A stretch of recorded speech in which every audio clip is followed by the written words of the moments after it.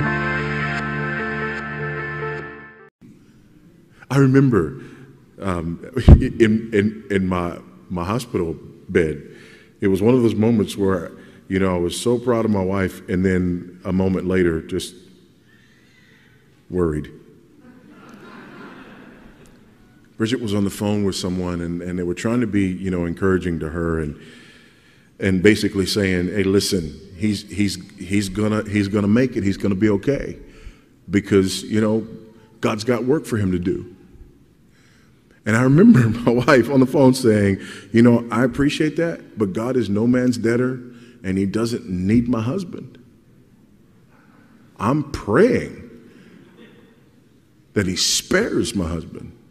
But if he does, it won't be because he needs him.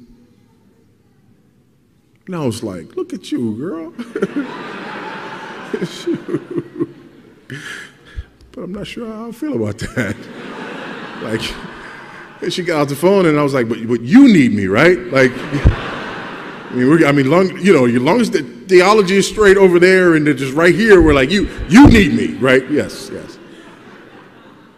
So yeah, Voddie in his typical fashion, Voddie's hilarious. And that's one of the reasons why I love watching his sermons because he has a knack for taking what's biblical and giving it a kind of a hilarious twist that's uh, appropriate. Uh, and so I want to talk about a wife, a, a godly woman, and, and the significance and importance of that. You know, as terrifying and destructive as a lost woman, a godly woman to a man of God is this fortress. That's what she is. That's how important a woman of God is. I remember Paul Washer. He was he had a sermon, a very old sermon, where he was preaching on marriage, and I remember him saying, "You know, the whole world can hate me. I can come outside my house, and there can be down with Paul Washer signs. People are talking about me on the internet. I'm getting death threat, uh, death threatening mail at Heart Cry Studios. Doesn't matter. Okay, as I don't care. As long as I know that my wife respects me, I can take on the world, and that's true. That's true. I know I don't. I don't have a, a woman. I don't have a, a wife. I don't have uh, a, a woman of God in my life. But I don't need to to know the significance of a woman that feareth the Lord. When a man of God is out in the world doing what he needs to do for his family, he knows that the home is solidified. He knows that home is is, is, is solid because he knows his wife fears the Lord. He knows that his wife is not slandering his name and talking about him behind his back because she feareth the Lord. He knows that his wife is not being inappropriate with their neighbor at home because she feareth the Lord. Everything comes back to her her her her devotion, uh her her relationship with Jesus Christ. That's what it's all about someone asked me a long time ago in an email, how do I know my wife loves me? How do you know your wife loves you? Tell her to tell you about her God, the God that she serves. That's everything. Okay, that's absolutely everything. And in, in regeneration, part of the newness is a new relationship with Jesus Christ.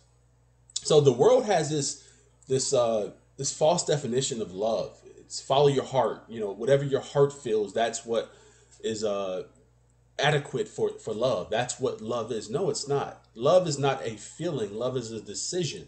Love is not void of emotions, okay? But it's uh it's not emotions. It's not emotions. It's a literal decision. You know, can you imagine if if God's love for us was determined by our performance? Because that's what the world that's how the world views love. It's based on your performance. What you do for me, how you make me feel will determine how I love you and how long I love you.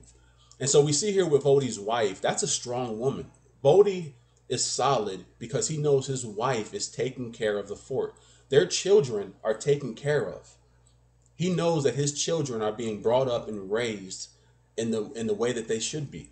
And the importance of a, a godly woman, especially a woman that's in the home, uh, making sure that home is, is, is how it should be.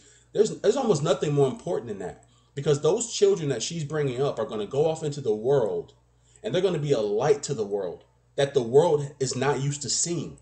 Okay, these are going to be a bunch of children that are going to grow into adulthood and are going to be godly, respectful, you know, God fearing people, and they're going to be a light to the world. And that's all because of what happened at home. It all starts at home. So you know, like, like said in this video, you know, sometimes the strength of a godly woman can be jarring. you know, he had to remind her, like, yo, okay, I understand the theology aspect of it, but you know, me and you are right. so, you know, so that's that's an awesome clip. Um, and like I said, I'm gonna probably make one or, one or two more clips. This is a I'll, I'll post the link to the full uh, 11 minute segment in the description of this video.